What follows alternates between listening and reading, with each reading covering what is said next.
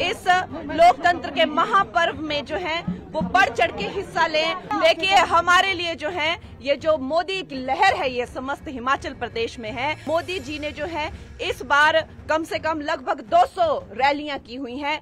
लोकसभा चुनाव के आखिरी चरण का मतदान आज है। इस बीच आपको बता दें, हिमाचल प्रदेश में लोकसभा चुनाव में हॉट सीट मंडी में आज वोट डाला जा रहा है।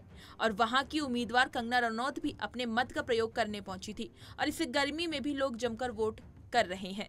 इस बीच आपको बता दें कि भाजपा प्रत्याशी कंगना रनौत ने अपना वोट डालकर मंडी ज़िले के सरकाघाट के जाहू के भाम्बला में मतदान किया है। मतदान से पहले कंगना रनौत ने मीडिया से बातचीत करते हुए कहा कि पीएम मोदी की सरकार एक बार फिर से केंद्र में बनने जा रही है। देखिए अभी अभी जो है, मैंने जो है वो वोट दिया है और मेरी सबसे अपील है जिन जिन क्षेत्रों में आज जो है वोटिंग हो रही है।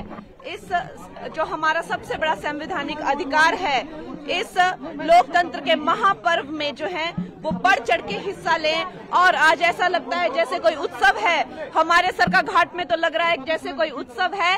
इस लोकतंत्र के महापर्व में जो है हिस्सा लें। और हमें जो लोकतंत्र का जो वरदान है न जाने कितने लोगों का खून बहा ताकि हमें ये वोट करने का जो है अधिकार मिले तो इस अधिकार का फ़ायदा उठाए। ये तो बहुत ज़रूरत है। देवी देवताओं का सबका आशीर्वाद मिलना हमारे साथ। वैसे भी जब मैं किसी भी इलाके में जाता हूँ तो देवी देवताओं का आशीर्वाद लेते हैं और आज तो शुभ शुभ दिन है और बहुत अच्छा रिस्पांस पूरे मंडी संसदीय क्षेत्र से मिल रहा है।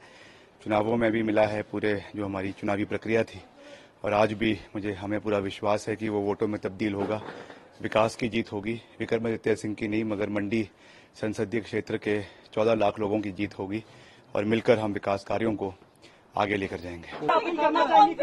देखिए हमारे लिए जो है ये जो मोदी की लहर है ये समस्त हिमाचल प्रदेश में है। मोदी जी ने जो है इस बार कम से कम लगभग 200 रैलियाँ की हुई हैं। दो महीने के छोटे से अंतराल में ना जाने 80-90 से ज़्यादा इंटरव्यू किए हुए हैं। और उनका जो काम है वो पूरे भारतवर्ष में जो उसकी गारंटी है उनका लोहा जो है पूरा भारतवर्ष और हिमाचल प्रदेश भी मानता है।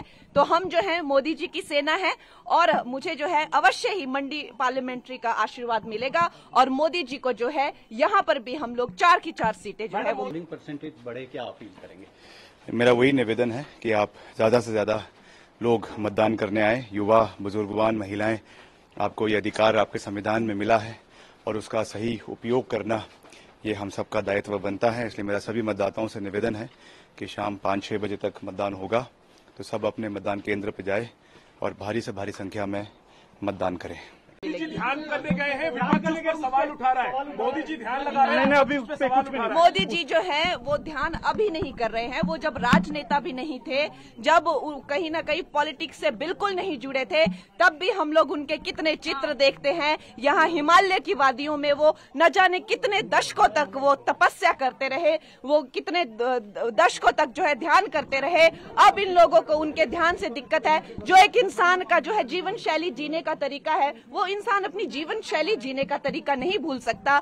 अगर वो जो है ध्यान करते हैं तो करते आए हैं अब भी करेंगे उसमें क्या पता? चार सौ पार कराएगी क्या चार सौ चार सौ मोदी जी अवश्य ही 400 पार में चार की चार जो है हिमाचल की सीटें। साथ ही एक्ट्रेस के पिता ने भी उनकी जीत की हुंकार भरी है। इसी तरह की तमाम खबरें और अन्य अपडेट्स के लिए बने रहिए हमारे साथ और देखते रहिए पंजाब केसरी डॉट कॉम।